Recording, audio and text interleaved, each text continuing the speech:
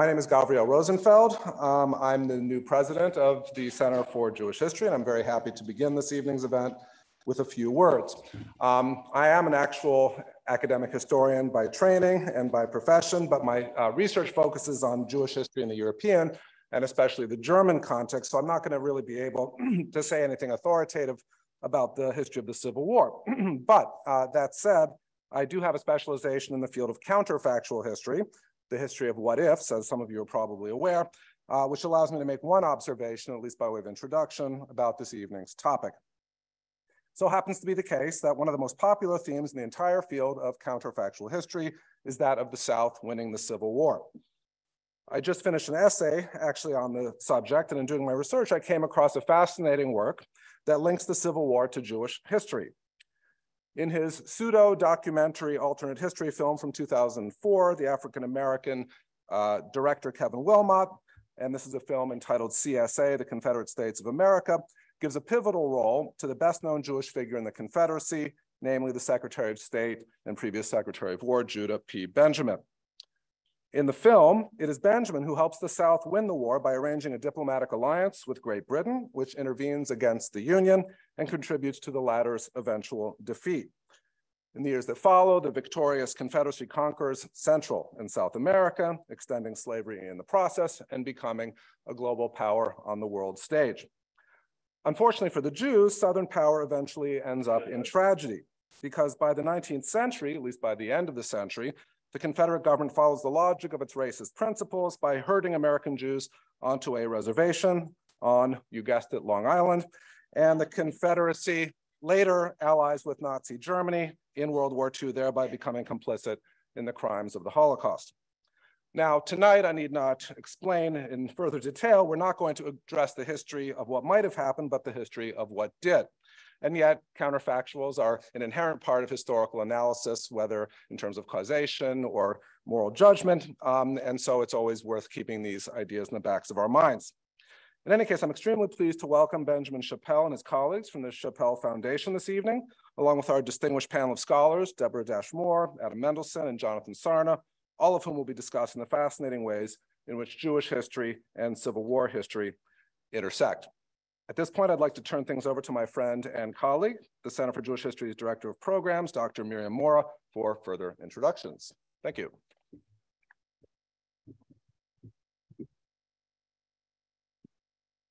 Thank you, Gavriel, and hello to everyone here and watching this program online. I'm delighted to have the opportunity to work with the Shapell Manuscript Foundation to bring this program to you tonight, and even more pleased to now have the opportunity to access the Shapell roster as a researcher and historian of Jewish America who dabbles in military history. I want to mention a quote that I think relates to this project and its significance. Myths die hard, and one of the hardiest is the canard that the Jew does not make a good soldier. This was written in the midst of the Second World War and published by the Jewish War Veterans of the United States in a 1941 pamphlet called Jews in the World War, A Study in Patriotism and Heroism. The purpose of this pamphlet was to dispel the, dispel the myth of Jewish evasion from military service. And such was the perceived urgency of that issue that they didn't even wait until the close of the war to publish evidence of active Jewish service. The same was true in 1919, before the close of the First World War, when the American Jewish Committee's Office of Jewish War Records released a report on Jewish participation, quote, as an instrument wherewith to combat certain manifestations of anti-Jewish prejudice in the immediate present, again referring to that old canard. Both of these examples were a continuation of the work that Simon Wolf began with his 1895 work on Jews in the Civil War, the American Jew as patriot, soldier, and citizen. Scholars of Jewish history have relied on this ambitious but limited resource for over 100 years. And though it's been an invaluable part, it's been invaluable as part of the American Jewish story, the Shapell roster picks up the work that Wolf began, which showed future organizations like the Jewish War Veterans and the American Jewish Committee that this needed to be done and recovers the evidence of those Jews in the Civil War for renewed and more accurate future research. I am so pleased to introduce Adrienne DeArmas, the director of the Shapell roster. She joined the Shapell Manuscript Foundation in 2011 bringing over 25 years of experience in primary source historical document research, database and digital asset management, and storytelling via exhi exhibitions, books, and websites to this new and exciting digital history resource. She has an MA in Museum Studies from George Washington University and a BA in Anthropology from Emory University. And her previous clients and employers include such institutions as the Smithsonian, uh, History of Historical Society of Washington, D.C., and Time Magazine.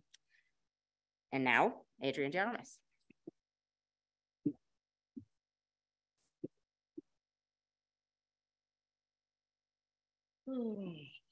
Thank you, Miriam. That was, that was lovely. Um, I, and thank you to everybody who's here. I'm not gonna lie, I'm really nervous. I can't believe we're, we're here, that this is happening. This has been just a dream. So forgive me if I read a little bit. Um, on behalf of the Shapell Manuscript Foundation, I want to thank everyone at the Center for Jewish History for hosting this event and all of you for attending, including the people on Zoom. Uh, thanks to Benjamin Shapell's vision, Ariane Weissel Margalet's leadership, the Shapell roster redefines how we look at Jews and the American Civil War.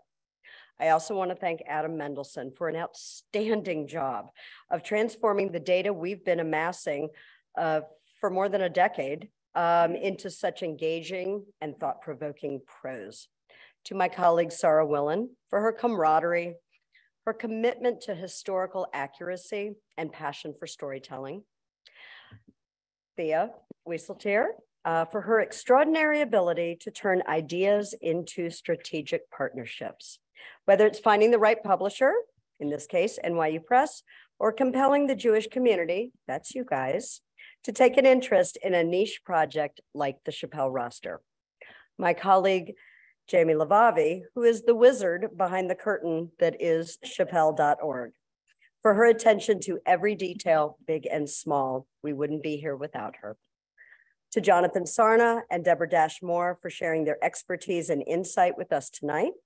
And lastly, I want to thank my amazing, and I mean this, amazing team of roster researchers. Alexandra Pita, who is with us tonight. If you don't mind standing up, I would love everybody to say hi. Um, and Caitlin Winkler, Bonnie Zulo, and Janice Parente, who unfortunately weren't able to be with us uh, tonight. Your dedication and your enthusiasm inspire me every day, and I mean that from the heart. Um, okay, and if I get choked up, yep, that's just what's happening. So anyway, here we go. Um, I guess I should have probably figured out how to do this. Oops. Um, oh, sorry, here we go, sorry. I was doing this backward. Okay, I got you. There we go. Okay, so who was Simon Wolf? What do you need to know about him? And why are we reappraising his magnus opus, magnum opus, excuse me. Briefly, Simon Wolf was a Bavarian-born immigrant who became a Washington, D.C. based social justice warrior. He advised multiple US presidents on Jewish related topics, and his legacy, a book entitled The American Jew as Patriot, Soldier, and Citizen, was created in response to anti Semitic rhetoric about Jewish patriotism or the perceived lack thereof. Published in 1895, it included more than 8,000 names of soldiers and sailors who served in the American Civil War. As you can see, it was predominantly a somewhat alphabetical list of names and regiments with the occasional detail, such as Victor Purley, 7th Infantry, quote, killed at Chancellorsville, end quote. For Ben Shapell and other collectors with an interest in both the Civil War and American Jewish history, it was an invaluable resource, but it wasn't very user-friendly. It wasn't 100% reliable. And so the idea of what would become the Shapell roster was born. When I first started on this project more than a, excuse me, more than a decade ago, the assignment was to confirm military service for the names in Wolf's book and add any that he overlooked. Scholars believed that if any of the names in his book were not Jewish, the number was so insignificant as to not be worth our time and effort. The first seed of doubt about this assumption was planted by a Massachusetts soldier named Henry Marks, who was brought up on charges for stealing a ham for his personal use. Uh, the next clue came from an obituary for the mother of a Pennsylvania soldier named Philip Halpin. It stated that she'd, quote, lived a true Christian life, end quote. And so on and so on. As of today, our research has determined that 10% of the names in Simon Wolf's book are definitively not Jewish. So not so insignificant after all. This is not surprising, however, given that name profiling was considered a sound and respectable research methodology at that time. Nevertheless, if we were to create a solid foundation for the future study of American Jewish history, Wolf's 19th century work needed a 21st century upgrade. How do we do what we do? The answer, carefully and collaboratively. We have two mandates. We have to obtain proof of military service and evidence that a soldier was Jewish. Service is usually pretty straightforward, uh, but proving that someone who lived more than 150 years ago uh, was Jewish is a little bit trickier, as you might imagine. Whereas not all resources are equally reliable, we look for evidence of religion in cemeteries, newspapers, archives, genealogical websites, and even military records. One of our best resources is descendants. So if you or someone you know has an, has an ancestor who was in America circa 1860, we really hope to hear from you. If they served, we want to put them in the roster. in addition to vetting the names from Wolf, we add names he omitted. To date, we've added nearly 1,500, 88 of which were added last year. And last month, Alex added 14, almost all of whom were sent to us by descendants. Now, while I'm talking about numbers, allow me to address the most often asked question we receive, how many Jews served in the Civil War? The reality is that answer changes every single day. Um, just last week, I confirmed that M and D Barwald from Wolf's list were Jewish brothers, Morris and David, and that Morris served under the name of Barwood, and that the records for David's regiment did not survive the war. Between new additions and finding new evidence that a name from Wolf was Jewish, the Shapell roster is constantly being updated. More importantly, Numbers tell us nothing about these men. Remember how Wolf listed Victor Perley killed in at Chancellorsville? Here's what the Shapell roster has for Victor Perley.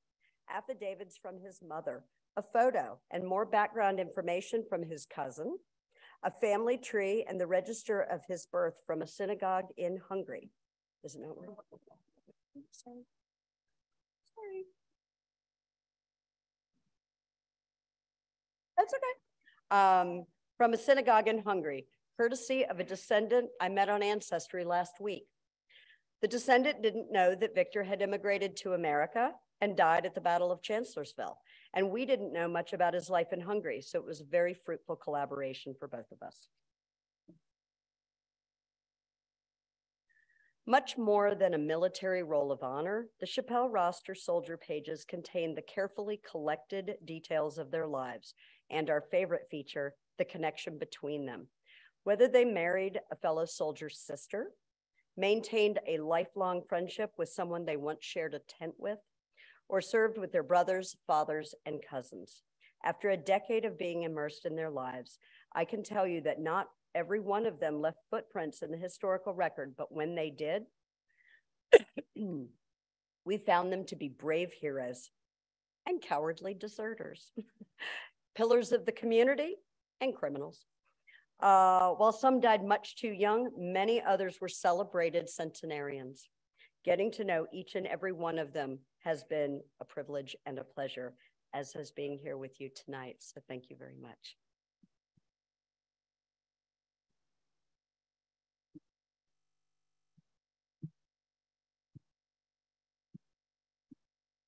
Thank you so much. Um, I'm going to introduce Jonathan Sarna, who is a university professor and the Joseph H. and Belle R. Brown Professor of American Jewish History at Brandeis University, where he directs its Schusterman Center for Israel Studies. He is also the past president of the Association for Jewish Studies and chief historian of the National Museum of American Jewish History in Philadelphia, author and editor of more than 30 books on American Jewish history and life. His book, American Judaism, A History, recently published in its second edition, won six awards, including the 2004 Everett Jewish Book of the Year Award from the Jewish Book Council. He's a fellow of the American Academy of the Arts and Sciences and of the American Academy of Jewish Research. His most recent books are When General Grant Expelled the Jews, Lincoln and the Jews, A History, published with Benjamin Shapell, an edition of Cosella Wayne by Cora Wilburn, the first and hitherto unknown American Jewish novel, and Coming to Terms with America, a volume of essays. Please join me in welcoming Jonathan Sarna.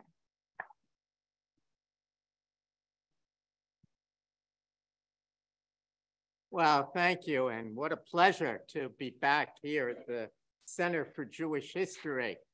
Um, now, uh, let me begin by uh, congratulating everyone involved in bringing this amazing book and roster uh, into existence. I especially want to uh, congratulate Adam on what you will see is uh, a book that in many ways changes our understanding of Jews in the Civil War.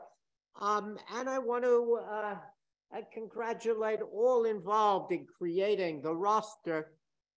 One of the great things about a database is that it can be used in many ways and indeed for purposes that cannot even be dreamed of sometimes by the creators of the database.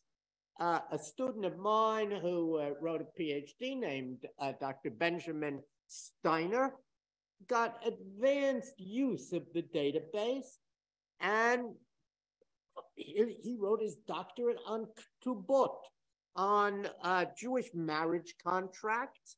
And it turned out that the database is probably the largest single collection of mid 19th century Jewish marriage contracts in America. Um, what I want to do, however, uh, this evening, in just a brief uh, time available, is really to show how, through the use of both the new Shapell roster and the manuscripts of the Shapell manuscript collection, and also some genealogy. I know that uh, the head of JewishGen is with us this evening. If you put all those things together, you can find out things that were never previously known and that could not have been known uh, by having them, uh, uh, by only using them separately.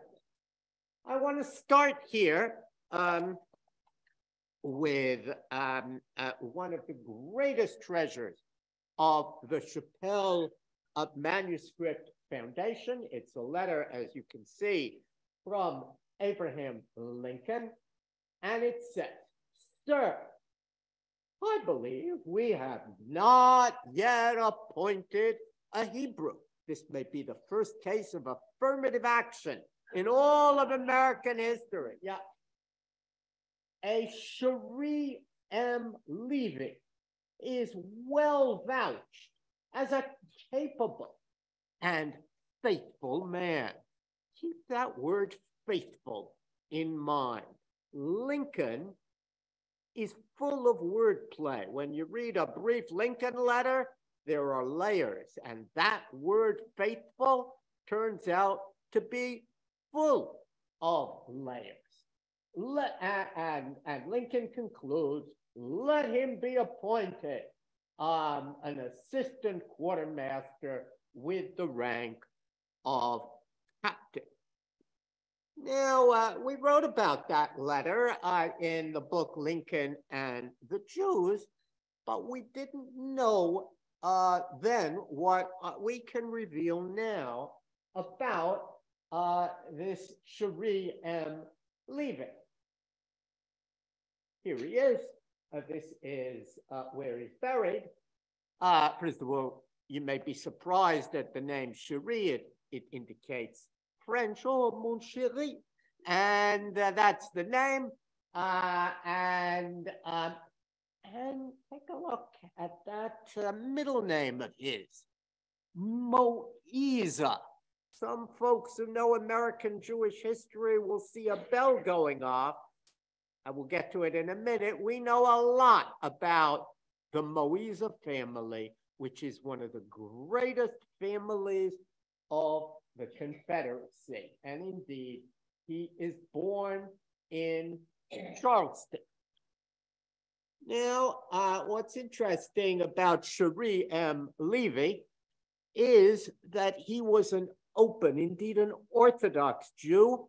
He was the son-in-law of a character we know from uh, the Civil War uh, era, uh, whose name was uh, Rabbi Morris Raphall. But what we didn't, and indeed, if you go back to your copy of Lincoln and the Jews, we write about it. Raphall supported him. Rabbi Raphall uh, is uh, famous uh, for a sermon he delivered on slavery uh, legitimated in the Bible. But actually, once the war began, he supported uh, the Union, uh, uh, Adam in his book reveals that he kind of went back and forth. Um, but what's interesting is that taught us the first meaning of faithful.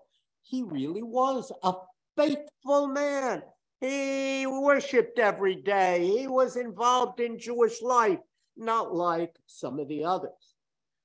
Now, seeing that middle name, we know that Lincoln's sense of faithful also had a second meaning because we had no reason to believe that a Moïse would be faithful to the Union.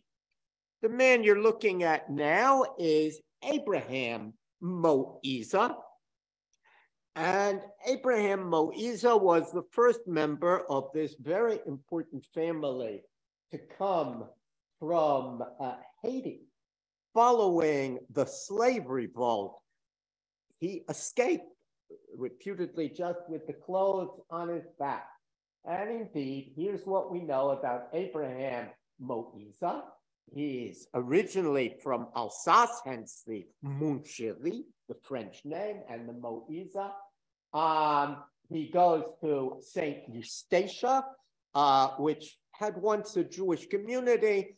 Uh, they backed uh, the American Revolution and the British punished them and it never survived. Uh, that was the end of the St. Eustatia. So it became uh, uh, a, um, after taking a trophy wife, 26 years his junior, he um, he went uh, and set up a plantation in Santo Domingo um, uh, uh, uh, uh on the island of Hispaniola. And then there was a slave revolt, and they fled to Charleston. As an aside, I don't know if anybody here remembers the story of the slave revolt in Haiti, but if you do, there is a famous character in the slave revolt uh, in Haiti named General Moïse. And General Moïse, who's African American, was reputedly a slave originally on the Moïse plantation. The, word, the name Moïse is still known among African Americans uh, in Haiti. In any case, um, uh, uh, uh Abraham Moïse uh, who had been the owner of the plantation, loses everything. And as you will see, they never regain their prosperity. And that's important because we can now understand why the Moïses were such great supporters of slavery in the South, why they were petrified at the idea of the slaves going free, having experienced what they did in Haiti.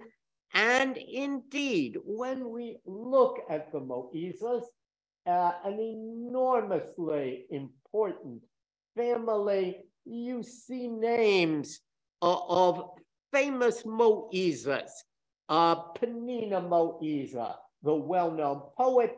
Uh, um, some of her hymns are still in reform volumes of, um, of poetry and um, she and hymns, and she's a staunch supporter of the Confederacy. Chaim Moïse, uh, his son became Speaker of the House, the kind of Nancy Pelosi of Louisiana. Uh, little known fact, uh, when you look at Louisiana, there were three Jews, really, who uh, were important there. One was um, uh, was uh, Chaim's son. Another was a Judah Benjamin, whom we've already heard. And then there was Henry Hyams. Every one of them intermarried. Uh, but Jews were important in Louisiana, especially uh, because New Orleans. Uh, Abraham Moïse, um, uh, the, the, um, uh, they, they, were Confederates, two of his kids. And so it goes until we get down all the way, uh, where's Cherie? Uh, oh, there he is, 1781. There is Cherie, um, uh, sometimes spelled differently, uh, born in 1781. He doesn't live too long. When you see people who died um, about when he died, you wonder, was it yellow fever? But he lived long enough to marry. He marries um, uh, into a very significant Charleston family, the Moses family. And they had a daughter named Rachel. And Rachel marries Elias, uh, born in England. And our Cherie Moïse Levy was uh, their uh, was their son, and he marries uh, Esther Caroline, the daughter of this man, uh, the Reverend um, Morris J. Raphall. We know a lot about Rabbi Raphall. That's his famous or infamous uh, sermon. And uh, very recently, um, they discovered where he was buried, like a lot of Jewish graves.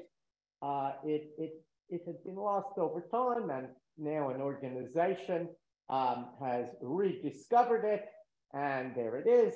And um, uh, well, let me uh, go there yet. Um, uh, Rabbi Raphall uh, had uh, a son who was seriously wounded. He lost an arm in the Civil War. His name was Alfred. And, um, and uh, as I say, his daughter married our friend Cherie Levy, whom Abraham Lincoln appointed a quartermaster. Interestingly, Cherie had a younger brother. His name was Clarence. He fought for the Confederacy. And so we now know another example of two brothers on opposite sides of the Civil War. And many believe, oh, it's only in World War One the Jews fought Jews. Actually, in the Civil War, Jews fought Jews. And this is a little known example. There are some well known examples uh, like the Jonases that had uh, uh, uh, Jews on both, on both sides. Um, now, um, uh, what, what you can see here are also brothers-in-law uh, who were both soldiers. It was not uncommon, and our friend Adam did a study uh, showing um, uh, that um, uh, there were um, uh, there were several uh, brothers-in-law. It was not um, not rare, um, and he has a whole collection of Jewish brother-in-laws, meaning you could lose your whole family in uh, in in the Civil uh, War. Um, now, um, and my time, uh, uh, exciting as it is to talk about this, uh, is running out. But let me just um, uh, uh, uh, uh, show you here a couple of other things. This is a letter from Rabbi Raphall to Abraham Lincoln, thanking him. And we understand why he thanked him because Cherie Levy got into trouble. Um, he got into trouble because he uh, had a soldier under him who was alcoholic, and he decided to withhold some of that soldier's pay, apparently after consultation, because he didn't want all the money to be spent on alcohol. However, the soldier said, You're stealing my money.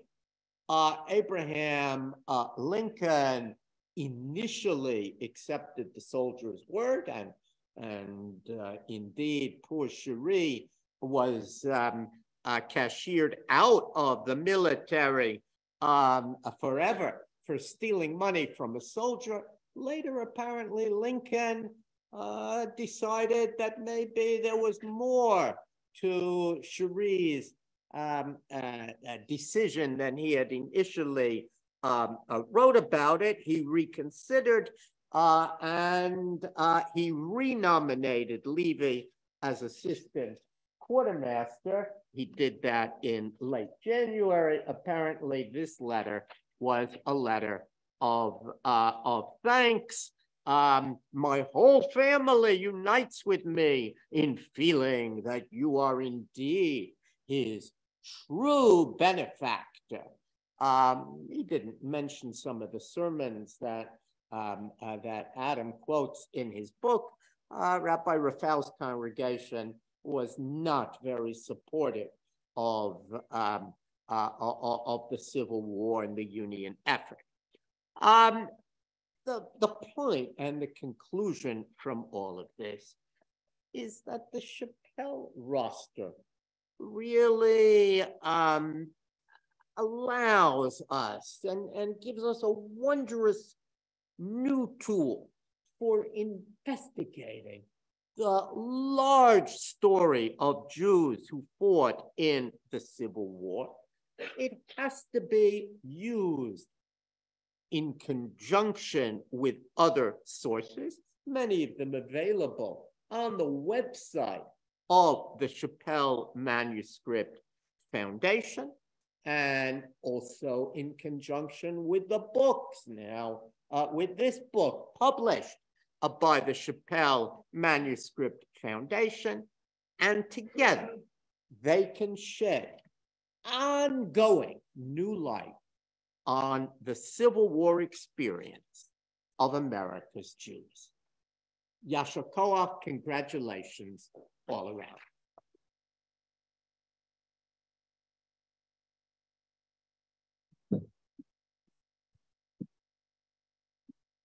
You so much, Professor Sarna. I'm going to introduce now uh, Deborah Dash Moore and Adam Mendelsohn. Um, Adam Mendelsohn is the director of the Kaplan Center for Jewish Studies and associate professor of history at the University of Cape Town. He's the author of The Rag Race, How Jews Sowed Their Way to Success in America and the British Empire, and co-editor of Jews in the, and the Civil War, a reader with Dr. Jonathan Sarna, Transnational Traditions, New Perspectives on American Jewish History with Ava Kahn, and Yearning to be, Breathe Free, Jews in the Gilded Age America with Jonathan Sarna. He's co-editor of the journal Jewish Historical Studies and previously co-edited the, co-edited the journal American Jewish History. Deborah Dash Moore is the Frederick G. L. Huetwell Professor of History and Professor of Judaic Studies at the University of Michigan.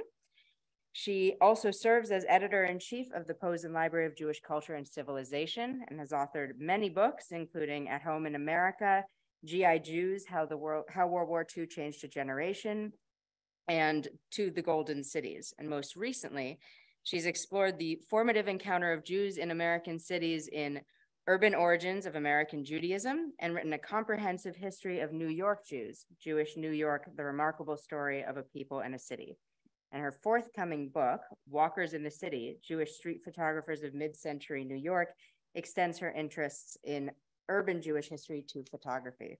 Please join me in welcoming Professors Mendelsohn and Berdashmore.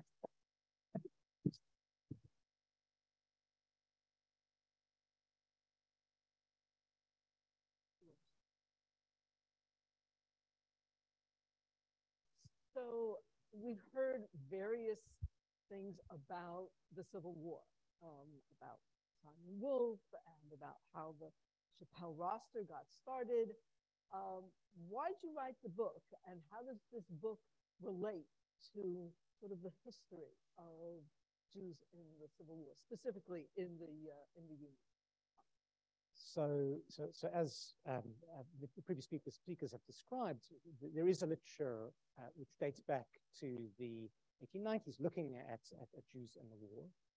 But the scholarly literature, the, the academic literature on, on uh, Jews in the war really almost begins and ends with a very important book which was published in the in the 1950s, a book by, by Bertram Korn on, on the Jews in the, in the American Civil War. But what it's, it's a wonderful book and still very, very valuable for a whole variety of reasons. But what that book doesn't do, the, the, the surprising gap is to talk about Jewish soldiers. They, they appear in the volume, but, but much of it is actually about the Jews on the home front, that the, the variety of, of challenges uh, that, that Jews encounter, uh, a variety of anti-Semitic episodes during the war, uh, and, and other moments where the war really matters for American Jewry. But there's this interesting lacuna, this interesting gap in the literature doesn't really address what is it like to be a Jew in the Union Army. And, and, and this is what this book tries to do, try to understand what, is the, what are the day-to-day -day challenges uh, which Jews encounter. My book also builds on, on a growing literature on uh, Jews and the military and Jews and, and these moments, particularly during wartime, where uh, which pose fundamental questions to Jews and their relationship with the state. So, so your own book, uh, for example, uh, books about the First World War uh, as well, and trying to understand exactly this. What is the experience of Jews often, in many cases, certainly during the, the Civil War, but also during uh, the First World War and the Second World War as well, of new Americans, people who, who either the children of immigrants or immigrants themselves. What is it like to uh, to to to serve alongside others, uh, to at a moment of of obviously great uh, danger in a variety of ways, but also great tension in society. So these moments, which the Civil War is, is clearly an example of, where, uh, where so much is disordered, is upended, and, and, it provides opportunities and challenges for Jews. So, so studying the war, Jews in the Civil War allows us to see this particular moment of crisis and how Jews respond to it. So to study these Jewish soldiers, of course, and their experiences, you have to begin with whether they decide to enlist, why they might decide to enlist. Um, and that's not necessarily an easy decision um, because, okay, there does come to be a draft, right? But you can buy your way out of the draft in those years. So tell us a little bit about how you teased out some of the motivations. Why did people, why did these Jewish men decide to enlist in the Union? So it's a very good and complicated uh, question. Uh, that it's why do, do, do, do, in many cases immigrants, not all immigrants, but but the majority of Jews who, who do serve are born abroad uh, and they've been in America for, uh, in, in, many cases, for a decade or less. Uh, they are, uh, in many cases, economic migrants, people who come as young men and trying to establish themselves. They have started, in most cases, businesses. And, and why would they then uh, disrupt everything, uh, um, potentially forsake a, a hard-won a business they've created to, to, to enlist with all the dangers and uncertainties of enlistment. And the truth is that, that in many cases, Jewish men decide not to enlist. Uh, that, and it's to me is it's a, it's a rational decision. Um, that, that the risks are, are, are too great um, and the rewards are uncertain, particularly later in the war. Once uh, th there's a wave of, of enthusiasm, particularly in, in, the, in the spring of 1861. So we see most Jewish soldiers who enlist, enlist then in, in this, sort of this burst of, of, of patriotic enthusiasm. Later in the war, once it becomes apparent what the costs of the war will be, and that this is not going to be a, a, an easily won or, or cheaply uh, won war, we see uncertainty and we see a number of, of, uh, of people who, who, who, you know, we think might have, you know, certainly are patriotic and certainly support the war effort in many cases, but there is uncertainty, difference, ambivalence about, about uh, um, serving. And we see, and this is not just distinct to Jews either, that, that this is a pattern amongst many other ethnic and immigrant groups, that there's uh, that, that particularly is a sense uh, that, uh, and, and it's true of Jews and true, true of, of, Irish and Germans as well, that the war also brings this tide of, of rejection as well, particularly for Jews in the early months of the war. There's a, a burst of anti-Semitism, which we can, we can talk about. I can show you some images related to this, which, which connected with the war, uh, where, and, and you can imagine a, a, Jew on the home front who's asking himself, and speaking to his, his family uh, potentially about the war, that why would I serve when I'm, I'm facing this, this wave of rejection? I'm being told that I'm that, that I, I, can never be a, a, true citizen, that we're, we're Jews, we are only, in, you know, uh, only interested in profit as opposed to, um, to, to, patriotism.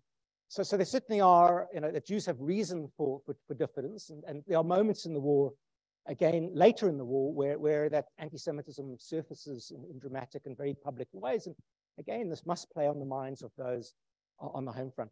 But in, certainly plenty of Jews do enlist, and they enlist for the, in some cases, for the same reasons as, as everyone else, that, as I've described, certainly that, that in, initially in 1861, that tremendous sense of, of uh, devotion, this desire to protect the Union, this sense of idealism, you know, Jewish, uh, particularly uh, some uh, soldiers who, who, bring an ideological baggage with them from, from Central Europe, that some have been involved in the revolutions of failed revolutions of 1848, and they're really driven by a sense that the American Republic can, must survive um, and, and that they are you know, dedicated to the cause. And there, there are others who, who enlist for uh, more day-to-day -day reasons, that, that their wartime disrupts economic activity, that if you're a peddler in the countryside, as many Jewish uh, men are, uh, that uh, you need to earn a living and suddenly the market has, has, dried up. What are we going to do? And the, a military salary, the promise of a paycheck seems, seems attractive.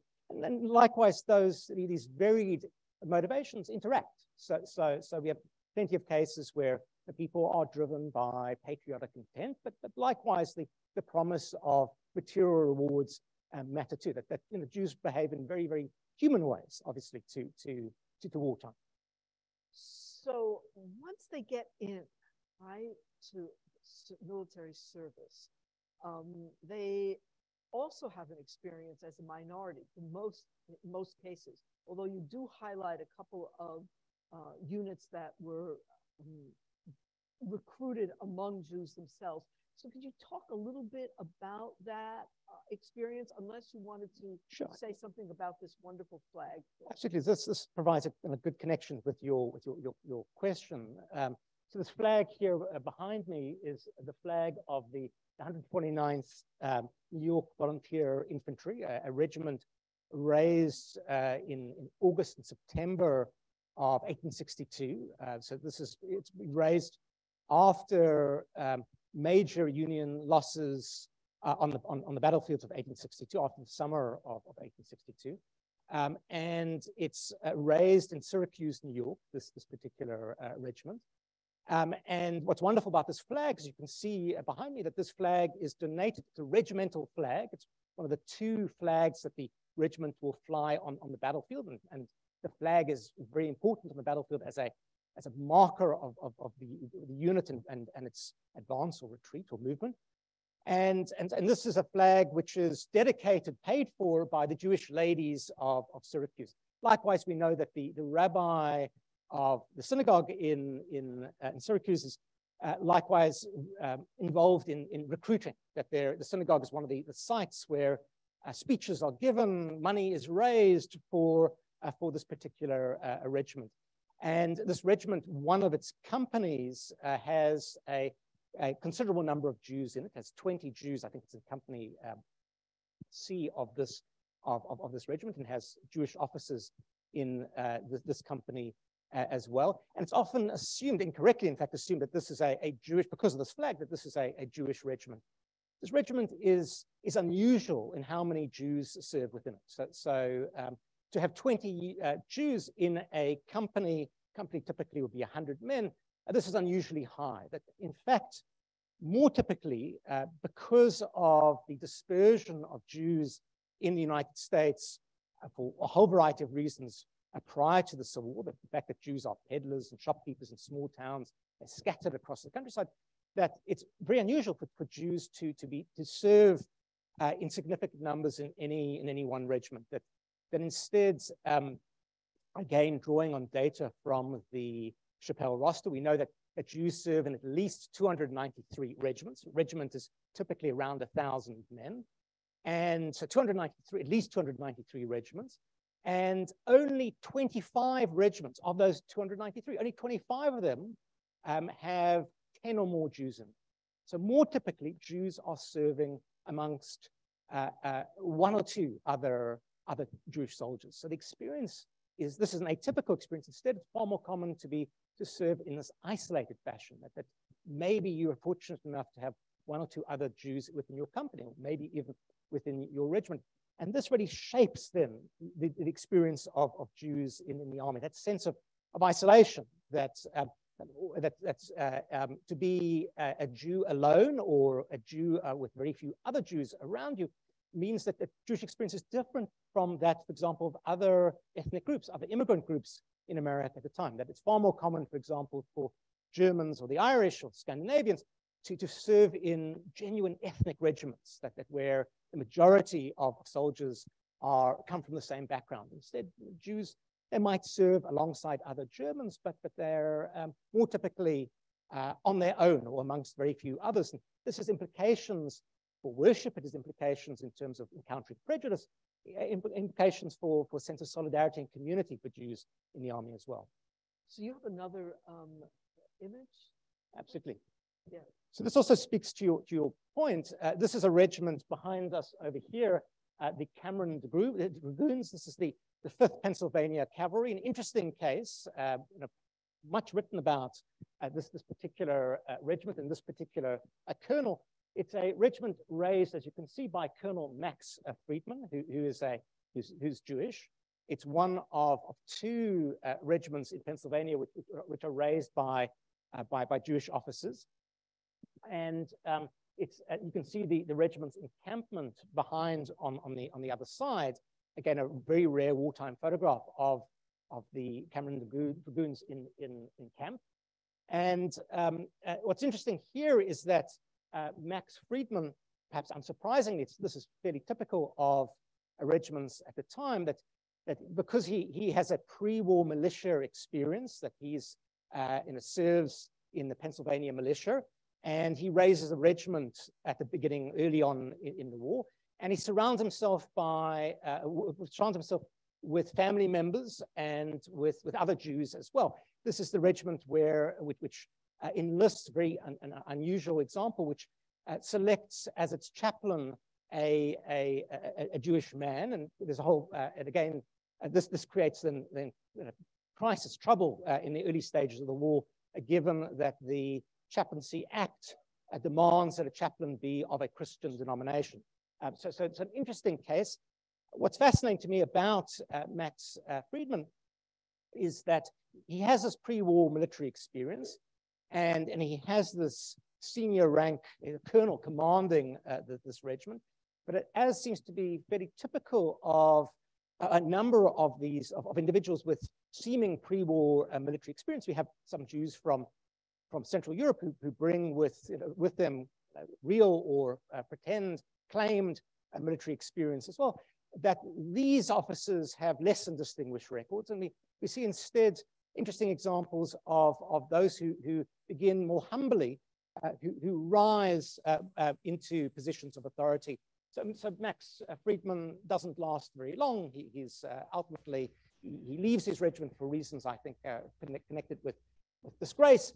Um, but, um, and in fact, the, the next slide is precisely this as well. This is um, the, uh, the Utassy brothers.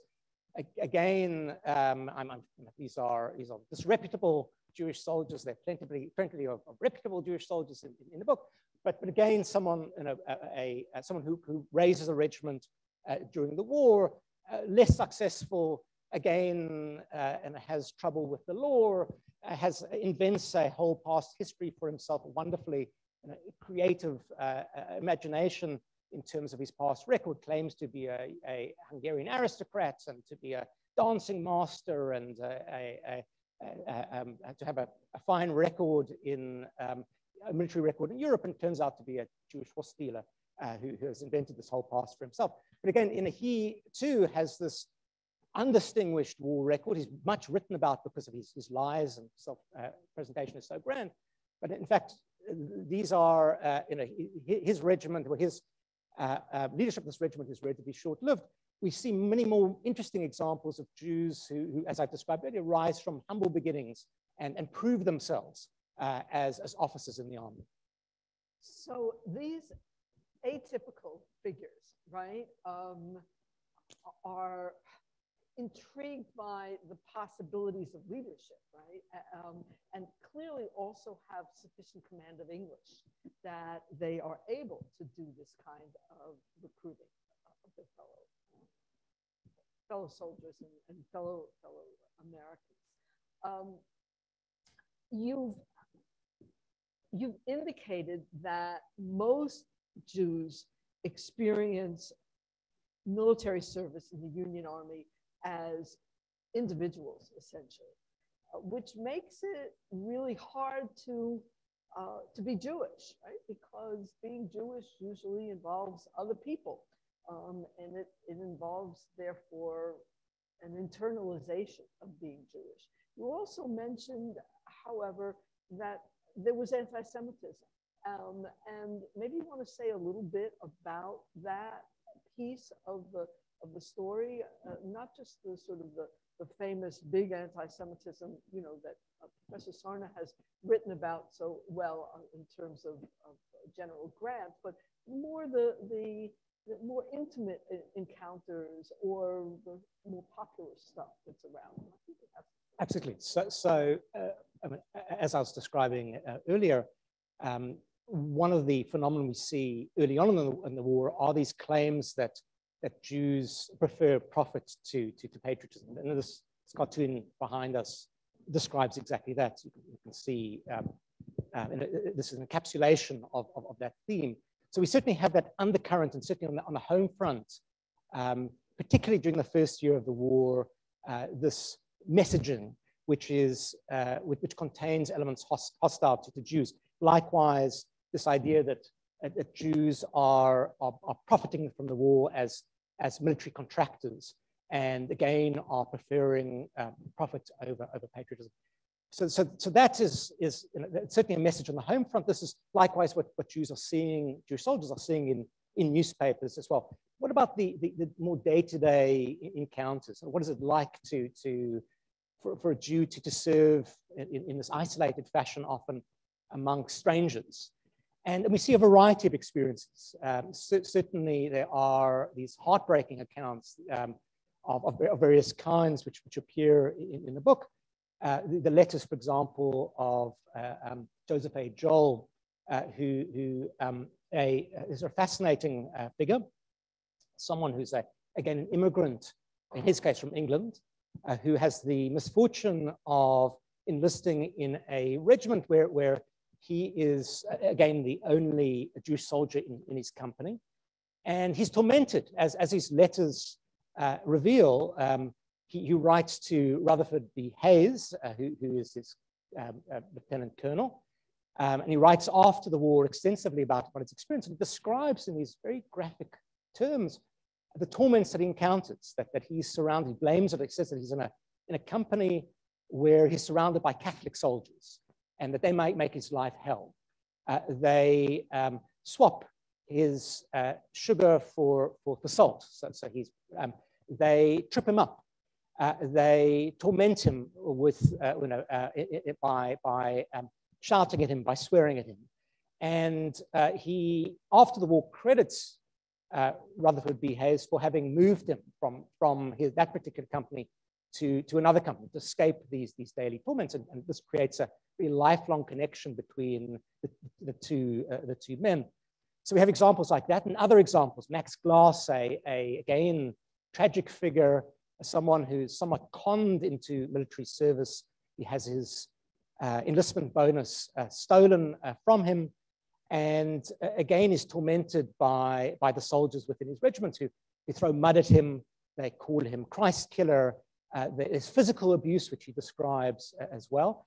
And what's interesting about his case is that he, he ultimately, he actually deserts or attempts to desert. He attempts to escape his, his, his regiment. He, he tries to enlist in the Navy. He's caught, he's sentenced or he's, he's imprisoned. And then he has an unlikely savior. He writes a, a, a letter in his very broken English uh, to Benjamin Butler, uh, who's a, a, figure we know uh, in a different context for his quite notorious anti-Semitic uh, um, ideas about Jews. And Butler takes sympathy on him and, and essentially um, uh, um, allows him to return to his regiment, which I suppose might be punishment in itself. So, so we have you know, examples of, of that kind, but also plenty of examples of the opposite, where I think that this proximity that Jews have with strangers, uh, where I think initially their Jewishness is something exotic, something unknown, something unfamiliar, uh, is broken down by, by proximity and by day-to-day -day encounters that you're eating with your fellow soldiers constantly, you are marching side by side, you're mutually dependent, uh, you are uh, literally you know, fighting sh uh, shoulder to shoulder with them, and, and uh, they, they are entrusting you with, uh, with their lives and, and vice versa. So we see, I think, this normalization for, for, for many Jews as well, uh, that, that, that, that, exoticism disappears um, during the military, their military experience. And we also have the opposite. We have examples of philo-Semitism. There's a wonderful case I, I came across of a Jewish soldier being pulled from the ranks by an officer who's just delighted, excited to meet a Jew, uh, sort of this, this, biblical creature in the, in the Union Army. And, and um, so, so, so that as well, that, that's, I think that, that sense of, of familiarity, which, which um, this intense experience uh, creates uh, during, during the Civil War. So just to remind people that Rutherford B. Hayes eventually went on to become a president right? Um, and that was a, a, friendship that, that lasted then. And J.A. Joel writes this wonderful account of a Passover Seder that he celebrates in the wilds of Kentucky, I believe it is, um, or maybe it's West Virginia, uh, where he manages to find another couple of couple of guys, and they they get matzah from Cincinnati, from the Sutler, and uh, it's I know it because it's in the the Posen Library of Jewish Culture and Civilization. It's it's really a great account, especially the uh, the bit of herb that they that they locate, um, which turns out to be unbelievably bitter, and they drink too much of the hard cider. Um, so, um, but you've given us, I think, this wonderful tapestry of ways in which the Jews experienced military service. Um, and uh, I know you have uh, additional um, imagery here. Yeah. so th that is, is a more um, humorous, right, uh, account. And I think uh, is worth letting us get some sense of sort of the, the diversity of these experiences and, and how how we have some knowledge of them, which I think is important because for a long time, we really didn't know much about it.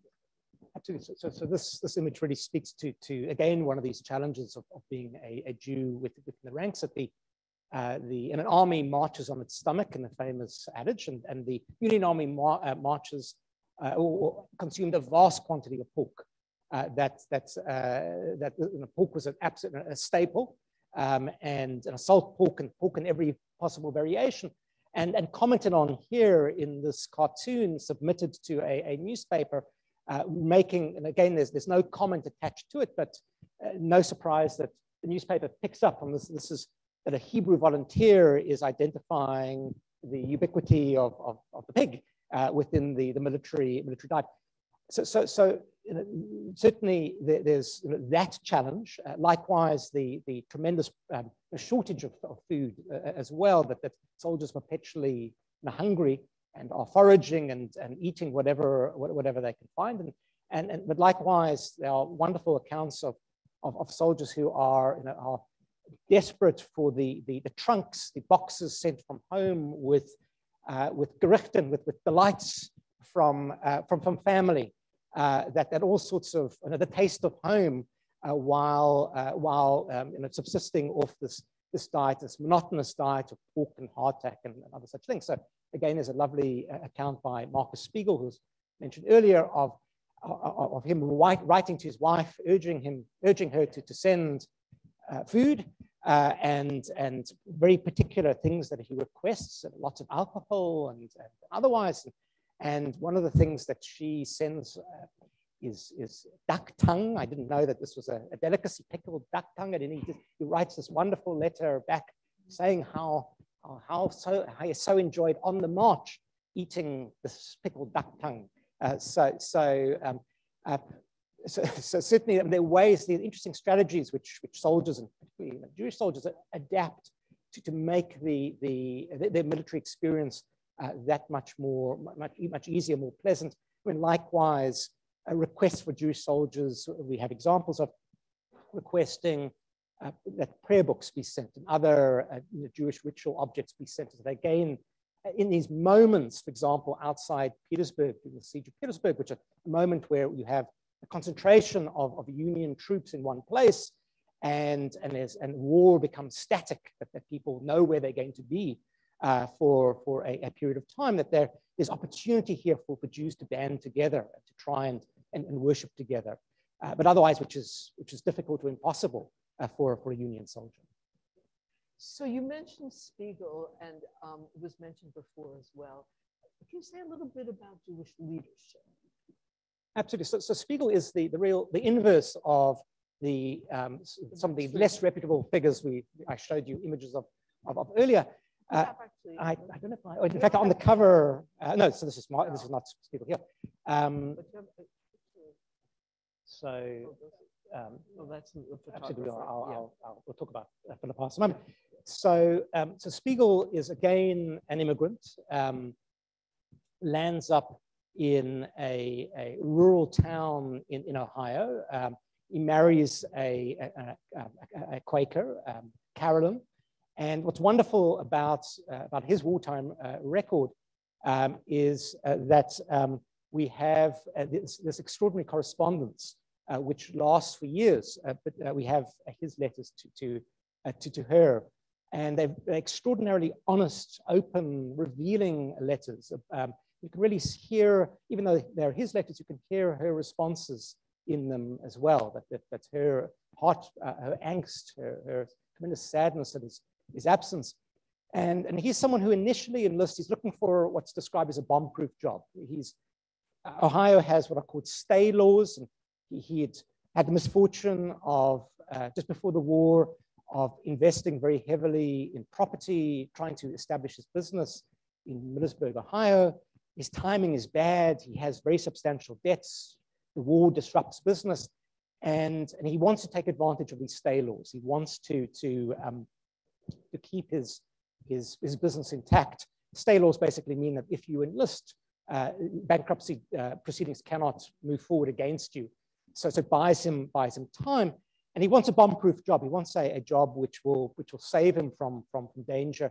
He, he thinks he, he, might want to be a quartermaster or, or, something which is which which is safe, and and he's very open about this uh, as well uh, in in these letters to to, to his wife.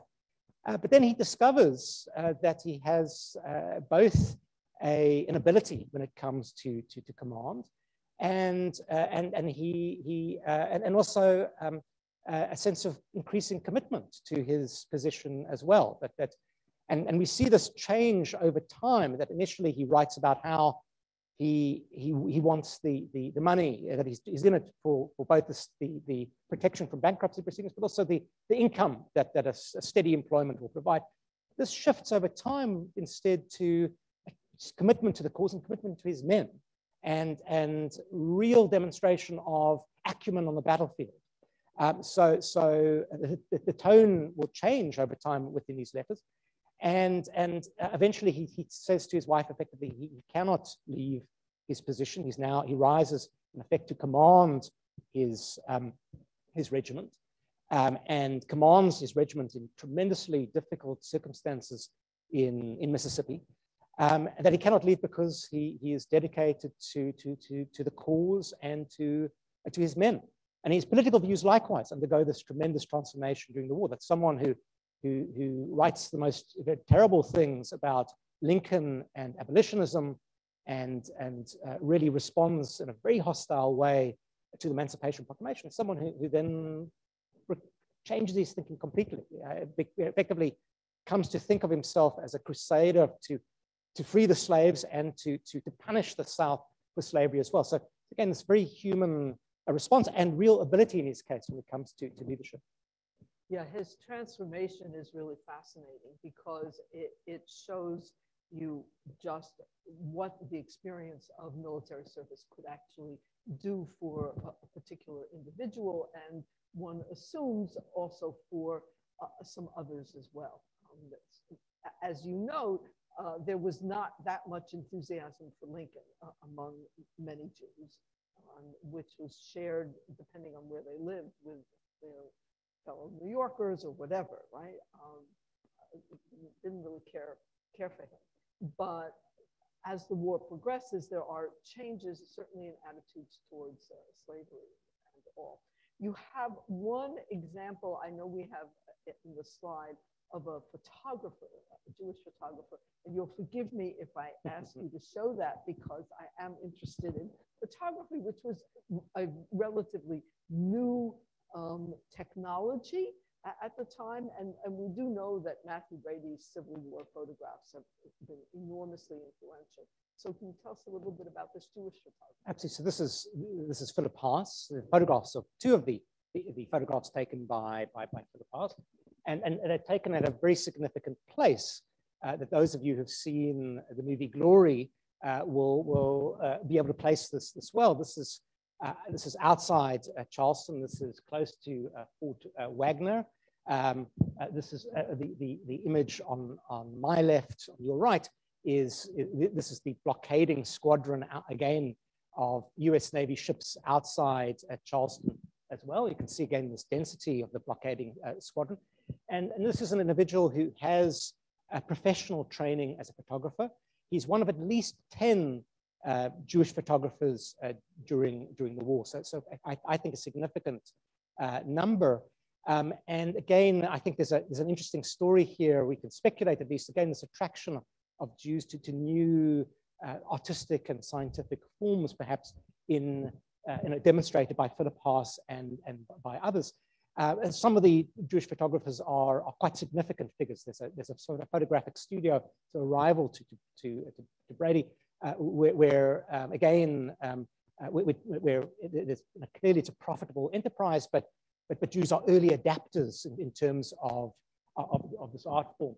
Um, and um, but we have other cases again of, of Jews who are um, uh, doing as other photographers are doing as well, which is to to um, uh, create portraits for, for soldiers who who um, both for themselves and for their families want to create a record of their of their military service to reassure their families by by sending portraits uh, home. That photography is deeply deeply meaningful uh, during the war, and as you described, a novel technology as well. That this is this is uh, almost sort of magical technology for, for, for soldiers at the time, and particularly that this is a moment where it's becoming a, a mass art form as well. That's something which is available to to, to ordinary uh, uh individuals, um, and, and and therefore gains an interesting positioning of Jews at this moment where where this this new um, uh, form is is taking off. So sort of to, to wrap up then, what would you like us all to, to take away from what you've, what you've done here in this wonderful book? So, so certainly some of it has been suggested already by, by the earlier, earlier speakers that, that, that this, uh, the Shapell roster, what it, what it allows us to do and what allowed me to do uh, with, this, uh, with this book as well, is to both hone in on these individuals and to give, give life to them, that individuals who, who um, Simon Wolf did, uh, again, a wonderful work and very important work at the time, but, but often these are individuals we, we don't have a sense of, of, of their, their actual experience. What does it mean to be a, a Jew in the Union Army at the time? So, so, certainly, this is one of the things which, which I've, I've sought to do in the book is give life to these, otherwise, in most cases, forgotten and ordinary people confronted by these extraordinary times, extraordinary challenges, and the very human responses to it that really humanize them and to see their their, their evolution, not always for the better in, in, in the army. So certainly uh, and that. I think the other thing which, which the Shapell roster does, and I've tried to do in this book as well, is to, to use the, the, the breadth of data that provides too. Uh, that um, we have known, uh, we knew before the roster uh, some of the variety in terms of where um, Jews came from in the United States, immigrants came from, that you know, many Bavarians and Jews from Hesse and elsewhere. But what this, the roster allows for is to establish patterns which putting individuals together, you know, creating our own Jewish regiments by putting them side by side allows us to, to really understand broader patterns in Jewish experience and to differentiate them likewise from, from other ethnic and immigrant groups. This is a war where uh, around a quarter of the soldiers in the Union Army are, are immigrants. Um, so so it's, a, it's really a, a, an army which reflects this American, this act of becoming uh, at, at the time and, and to understand how Jews are in many cases similar in terms of their experience to other ethnic groups, but also there's a distinctly Jewish story, which, which I think the, the book tries to, to bring out here, that they're both in terms of the, the, the challenges of being a Jew and trying to uh, follow Judaism in, in, the army, but, but other patterns too, which, which, uh, which you wouldn't expect in terms of, of enlistment and then post-war experience, which, which sets Jews apart. So, so, so trying, to, trying to both in a, in a way, recover the individual experience, but also to see Jews as, as having a distinct, broader experience at this critical moment in, in American history as well. Thank you very much. Um, we have some time, I think, for questions. Um, and so if you raise your hand, there's a mic that people can see. Yeah. We'll also send um, Adrienne DeArmas. We'll go back up as well if you have questions about the roster in addition to questions about the book. And Mm-hmm. I'll come around with the uh, with the microphone and try to keep questions relatively brief. Um, Professor uh, Faust, about 15 years ago, wrote a book called The Republic of Suffering and describes the tremendous transformative impact of the Civil War on America itself. How would you describe the impact of the Civil War on the Jews at the time? I couldn't have asked for a, a, a better question. It's really a wonderful question to lead off on. Um, and uh, I, I, I, devote a whole chapter to this. So, so actually it wasn't a plant, I'll, I'll thank you, pay you later. Um, so, so, um, so I devote a whole chapter to this. And this is one of the, again, uh, uh, areas where, where I hope I've said something new and interesting uh, in, in, the book as well. And, and I make two arguments around this. One is I think that the what we haven't sufficiently appreciated is how wartime anti-Semitism uh, will, will, shape post-war Jewry as well. That, uh, that, that Naomi Cohen made a, an, an, argument many, many years ago saying that the war um, had a significant impact, anti-Semitism war had a significant impact, but it wasn't picked up by, by other scholars. And I think that, that she was onto something very important um, that I, I, trace, or at least I make the argument that what we regard as modern anti-Semitism, or or at least a significant number of its features, are rooted in, in all the uncertainties of, of wartime. That wartime unleashes, unleashes a, a, Pandora's box uh, uh, of, of uh, ill feeling, not just towards Jews, but towards other groups as well. And, and, and it has this lasting legacy, uh, which we see, in fact, in Simon Wolf's work, I think is, is in a way responding to, to many of these forces unleashed by the war. That's one area where I think the war has a very significant legacy. And the other argument, which, which I'm, again, it's, somewhat speculative in the, in the book, but I, I think there is something uh, to it, is that before the war, we have a, a an American, um, you have uh, Jews in America who come from a variety of different backgrounds, a very diverse Jewish population. They come from uh, many of them from Central Europe, but also from a whole variety of other places, from some Eastern Europe, some from the Caribbean and elsewhere. And they bring with them, I think, quite distinct identities uh, from the places that they come from. And I, and I make the argument that I think that during wartime, we see a coalescence of a sense of American Jewishness. That because, again, partly because of anti-Semitism, partly for other reasons, uh, partly because it, it, does the same thing for other immigrant groups after the war, a, sense of Germanness is created in the war, a sense of Irishness is created in the war, again, because the American public is, is identifying Germans and Irish and often in negative ways. I think the same thing happens for Jews, that it creates a sense of, of American Jewishness, that we need American Jewish institutions to represent us. We, we, need, we have common interests, not as Bavarians or Hessians or, or people from, from you know, Eastern Europe, etc., but we, we, have, we, we have common interests as American Jews. And we see a, a, a, an explosion after the war of, of efforts to create new institutions, which I think comes out of both of these impulses, both of the, the, the rise of, of this very troubling anti-Semitism and the sense that we, we have this common interest as American Jews. So, so that's, that would be my, my, my argument. I think there are many other consequences of the war too, but those two to me are, are, are underappreciated. Uh, we have become knowledgeable about the contributions of American Jews during World Wars One and Two, and now with the Shapell roster, the Civil War.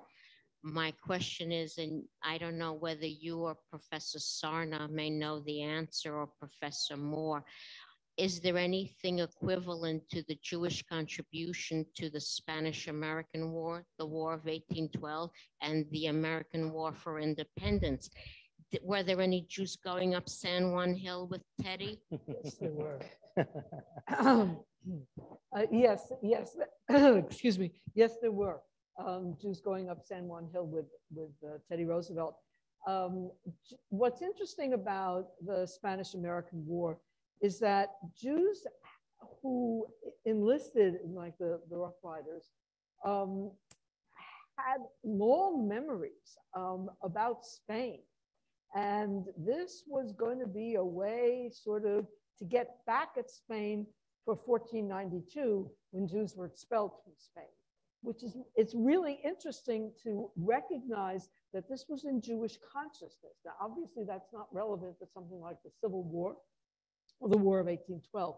But for the Spanish American War, there was a real anti Spanish um, animus among Jews. I think you, just to add to that, I think that that's um, uh, certainly, I mean, there's very good scholarship, and thanks to, to, to uh, not what yourself, about the Second World War, and likewise, very you know, good work now on the First World War. But, but these other conflicts are, are calling out for reappraisal. I think that again, mm -hmm. revisiting uh, the, the complexities of the War of Independence uh, and, and later wars too, that, that's, um, that, that's you know, again, um, not that I'm, I'm, making any suggestion to what Benjamin Shapell should focus on next, but these are, these again, we, we don't know. And, and again, part of Simon Wolf's project originally was to record the names of, of Jews who, who, had, who had fought in, in the War of Independence and Spanish American, Spanish American War, etc.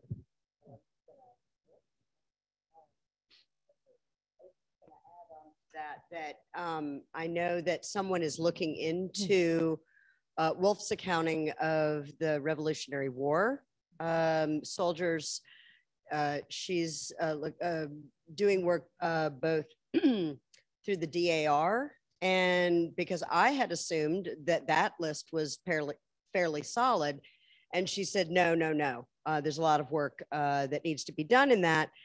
And that's helpful to us because of uh, the tradition of military service in families.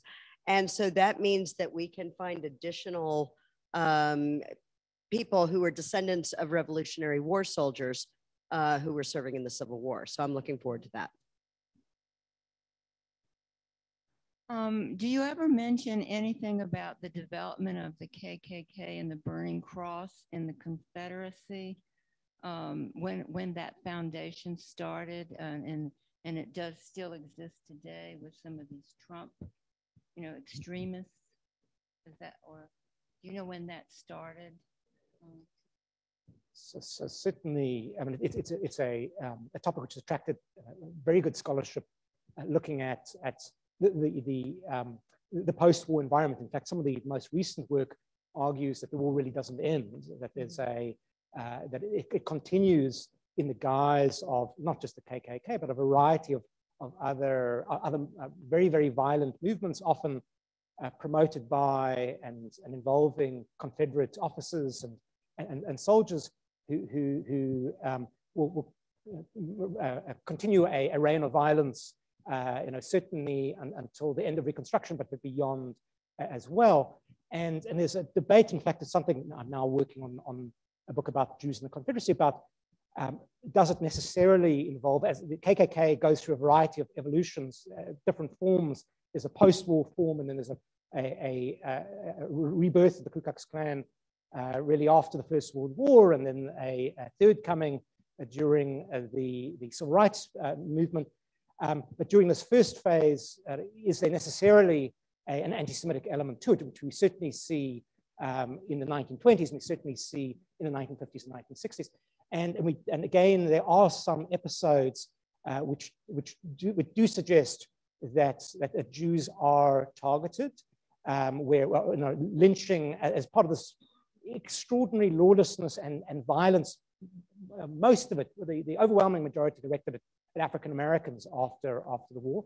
But in some cases, Jews are involved in Republican politics um, in, in, again, the, the, the, period after 1865, which is a dangerous thing to, to, to do in, in some places.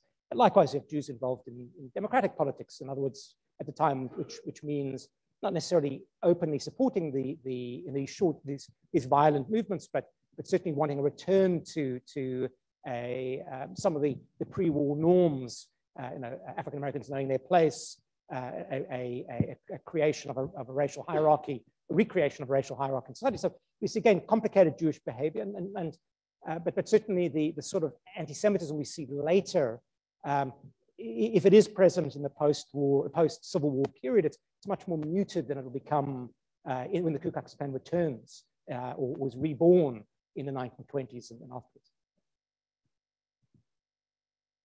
Yes, um, up until the Spanish American War, most wars were fought by volunteer armies.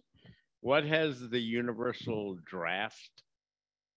Um, we know what it has done with Black Americans and, you know, at least the post First World War, uh, perhaps at least the Second World War, but what has been the effect of the universal draft? So when you had a, um, a universal draft, Jews were fortunate enough not to be singled out. Right? They did not enter a segregated military the way Black Americans did. And they were integrated throughout all of the different um, categories, military categories, whether it was the Air Corps or the Marines or the, the, um, the Army Navy, etc. And that meant for most Jews, um, their experience was um, not to be in large, in units which had many Jews. Now, it, it varies a great deal. Um, in the First World War, there's recruitment of New Yorkers. They go to Camp Yaphank, and there are Jews uh, at, officers level all the way down through the ranks. And that's an, an unusual situation. In the Second World War, you don't have that um, as much, but you do have a lot of recognition on the part of the military of the importance of trying to figure out how to get Catholics and Protestants and Jews to fight together uh, and how to build respect. Um, those categories did not include Black Americans. Um, and it's only after Truman desegregates the military that you begin to get efforts to figure out how to integrate Black Americans and also other uh, religious movements like Buddhists, for example, um, who are are present in the Korean War, where it becomes an, an important issue in terms of uh, there are Buddhists on the other side, and uh, you know, so the issues of, of religion uh, intersect with those of um, ethnicity, and when you have for the period when you have a universal draft, which is a relatively short period of time, um, the military works sometimes successfully and sometimes a little less successfully to try to create a notion of an American soldier that encompasses a wide variety of types of people after World War II.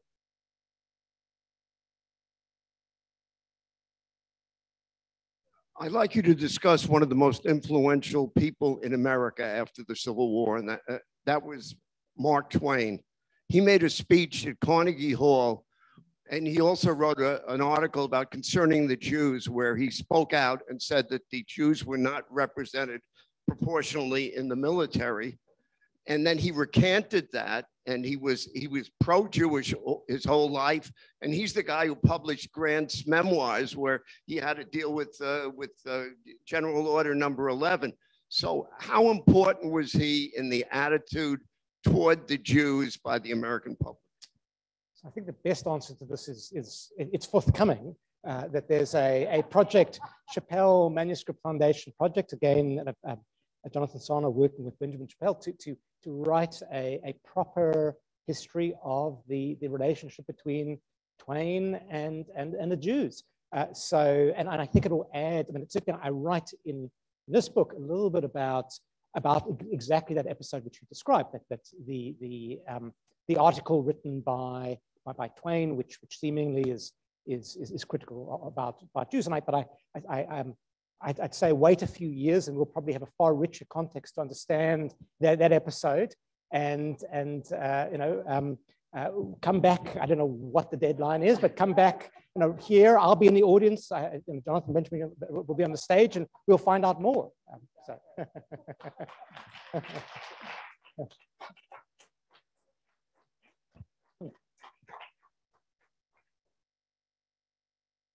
Couple last questions, or oh, was that um, last question? One last question, sure. Take one last question then. Okay. Oh, thank you very much, uh, Professor. Uh, uh, I was interested in the part that where there was this one regiment from Syracuse, which had a significant minority, but population of Jewish soldiers. The rest were interstitial, one or two per regiment, and that. I thought and this is based totally on anecdotal information, my own experience. Um, that's common in all of our wars, that the Jews are not grouped uh, into Jewish groups. I was on a destroyer escort from 1965 to 67, anti-submarine warfare officer. I had one other, there were 165 men on the boat. There was one other Jew and me. And we had a Christian chaplain who really wanted to lead services for us because alcohol is forbidden on United States naval vessels. And he had that sacramental wine that he wanted to drink with us. and my experiences were all of the different types that you some people welcome me because of my Jewishness and others. Um, well, actually what happened, I was serving during the time when the the Six Day War, where one of our, um, one of the Israeli, the Israelis shot up a, a, a spy ship off the coast. And then, yeah, and then there were people who tried to pick on me for that. So it, all variety of experiences. I appreciated your talk very much. Just a, a, word in response. Your, your point is a very good one. What makes, I think, the Civil War then distinct and different from, from other, other wars is that, um, that the, the, the, ethnic regiment is, is, is common during, during the war. Uh, that um, uh, there, there is a, a German corps uh, during you know, the, the 11th Corps is, is it's not exclusively German, but certainly there are identifiable Jewish, uh, identifiable ethnic uh, um, units. And, and this is deliberate, that this again speaks to themes which were discussed earlier, that, that uh, Lincoln um, makes a, a, an effort to, to accommodate, um, yes, Jewish soldiers, but, but a, a, very significant effort to, to, to make the, you know, the quarter of immigrants in the army feel welcome and, and accepted. And one of the, again, interesting distinctions, differences between Jews and, and um, other ethnic soldiers, not just that, that Jews are, are much more likely to be isolated than the German soldiers are likely to serve alongside other German soldiers, Irish like, like, uh, likely to serve alongside uh, other um, uh, Irish soldiers. So, so, so there's, there's, there's, that difference, but also, I, again, this topic which is likely to be controversial, something which I, I, I deal with within the book as well, that, that at least initially in the war, I think Jews are more ambivalent uh, than some other ethnic groups. We see ethnic champions within the German community and Irish community who then often go on to become generals, etc and, and Jews for a variety of reasons, partly because that, that anti-Semitism I talked about earlier, right from the start of the war, have a more complicated uh, uh, uh, relationship with the war. It's partly again because they're Jews in the South and there's concern about, again, the division within American Jewish uh, uh, life and community. Uh, but, but there's a difference which, which we, we see more of, at least initially amongst Jews. Later, other ethnic communities will share that. But we see Germans and Irish feel much like Jews from 1863 onwards. That they also um, are deeply troubled by anti-Irish and anti-German sentiment. But that comes later for a variety of reasons during the war. We're thoroughly out of time, but I'd like us to thank thank all of our panelists. Professor Dash Moore, Professor Sarna, uh, Professor Mendelsohn, and um, and Ms. DeArmas. Uh, I'd like to also invite you to come out into our reception uh, in the Great Hall where we will have the books for sale and Professor Mendelsohn will be signing and you can ask your additional questions there. Thank you.